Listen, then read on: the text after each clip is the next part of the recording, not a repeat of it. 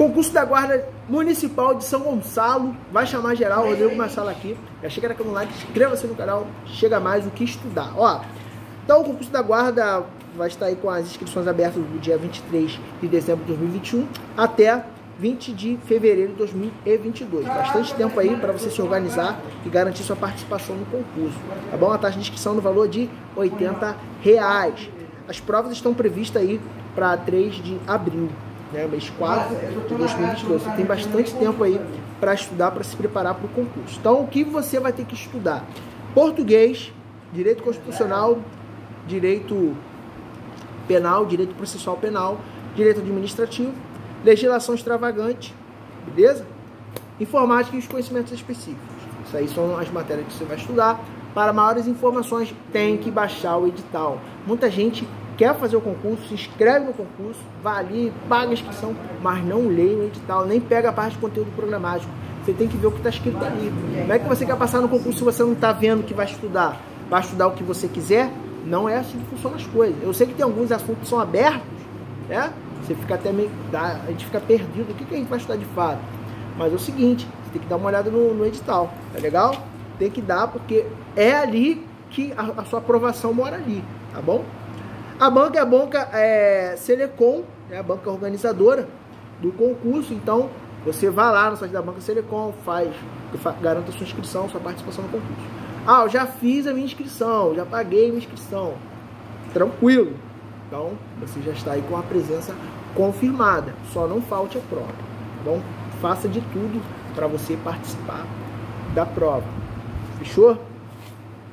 Como estudar? Muita gente me pergunta como estudar para o concurso. Olha, a gente sabe que é um número de matérias consideráveis, né? Então, você vai fazer o que aqui? Você vai pegar aqui língua portuguesa da Banca Selecom, é bom você fazer questões da Banca Selecom. Aí vai pegar as questões de direito constitucional. Aí pega ali também direito administrativo, né? Você vai ali dar uma estudada. Tá bom? Aí no dia seguinte, pega direito penal, direito processual penal, e pega ali é, uma matéria dos conhecimentos específicos. Vai sempre tentando é, intercalar as matérias. Não fica estudando só uma matéria só. Isso é muito comum, né? A galera fica estudando só uma matéria. Vou estudar só língua portuguesa, vou estudar só direito constitucional. Quando eu terminar essa matéria, eu vou para outra. Isso é um erro grave. Um erro grave porque o cérebro fica cansado, fica saturado. Então é bom você ter, fazer é, pausas, pequenas pausas quando estiver estudando, né? E fazer ali ciclo de estudo. Estudou uma matéria, vai para outra, terminou essa, vai para outra. É assim que funciona, tá bom? Dá para zerar o edital? A gente sabe que estudar para concurso público, dificilmente, dependendo ali do tamanho do edital, é complicado você zerar o edital. A não ser se você já conhece o assunto. Se você conhece os assuntos, fica mais fácil.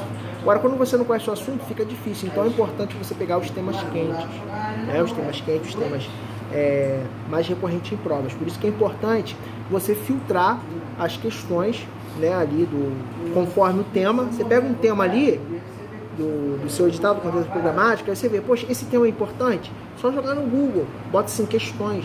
Né? Eu sei que tudo ali é importante, mas tem a questão do grau de relevância. Né? Então, você botou lá, viu a questão sobre o assunto, vê se teve provas aplicadas sobre o assunto desse ano. Aí você bota questão tal, 2000 né, referente ao ano, né? Teve questões desse ano, você joga no Google e vê. Tem que né, fazer aí a, a, busca, você tem que fazer pesquisa também de questões, né? Tem que fazer um estudo. Isso é um estudo inteligente. Você vê quais foram, né? Você olha o edital, quais são os temas aqui que são importantes no edital? Porque tem coisa no edital que tá ali para encher linguiça. Né? Tá, pode cair, claro. Se der para você estudar, se der tempo para você estudar, você vai estudar, claro. O certo é estudar tudo, mas a gente sabe que não dá tempo. Não dá tempo. Um iniciante para estudar isso, um, esse concurso aqui, dá para fazer? Dá para fazer. Mas a gente sabe assim, que tem assunto que vai ficar com dúvida, tem assuntos que, poxa, não entrou. Normal, acontece. Teve, teve assuntos que, para eu aprender, para absorver, demorou um ano para aprender o assunto. Tá? Teve assuntos aí que demorei mais tempo para aprender. Beleza? Então, normal. Não fica nessa de, ah, sou burro, não presto para nada. Para com isso. Tira isso da sua cabeça, que isso aí, é, é, o seu subconsciente aceita tudo que você fala. Tá bom? É, o certo é estudar tudo. Mas a gente sabe que não dá tempo. tá? Apesar de esse concurso aqui é, tá favorável, tá favorável. A maioria esqueceu o concurso, deixou para lá, falou, ah, não vou estudar mais para esse concurso não. Tem aí o concurso da polícia, Polícia Civil, a galera que se inscreveu para esse concurso, uma boa parte foi para a Polícia Civil, focando na Polícia Civil, né? Do, do, do, Rio de Janeiro, então muita gente esqueceu desse concurso, deixou para lá. Então, se você contar da gravação desse vídeo, que eu tô fazendo aqui, a gravação desse vídeo está sendo feita dia 22 de dezembro de 2021. Até a data da prova, dá para você estudar bem. Você fazer um ciclo de estudo, dá para você, né, estudar aí boa parte do edital. Preferencialmente zero, mas assim, foi o que eu falei. É difícil zerar o edital, estudar tudo. Porque sempre vai ter dúvidas, sempre, poxa, caraca, não estou aprendendo isso aqui, não estou conseguindo absorver. Normal. Mas assim, você estudar boa parte do edital, já é possível. Aí você estudando boa parte do edital para a prova, a competir de igual para igual. Você arrebentando nas questões, fazendo questões ali qualificadas, direcionadas, pô, pode ter certeza absoluta que você tem é um forte candidato ou candidata para passar, beleza? Ó, requisitos, nível médio completo. Não precisa de é, CNH, não tá lá no edital pedindo CNH, tá bom? Claro que se você tiver, quanto mais qualificação você tiver, isso é normal. Administração pública, eu sou concursado, eu sei que é isso, né? Quanto mais, por mais que o edital chega ali e pede assim, ah, nível médio, é nível médio completo, beleza, tá lá no seu edital.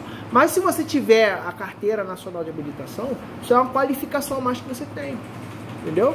O órgão pode ser que precise, ah, precisa conduzir uma viatura aqui, precisa pegar essa viatura, você, ah, sou habilitado.